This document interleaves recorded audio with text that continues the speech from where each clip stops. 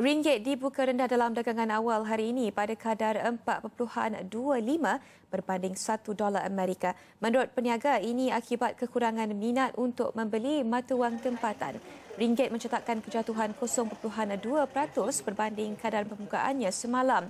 Selain euro, ia turut didagang rendah berbanding mata wang utama dunia lain.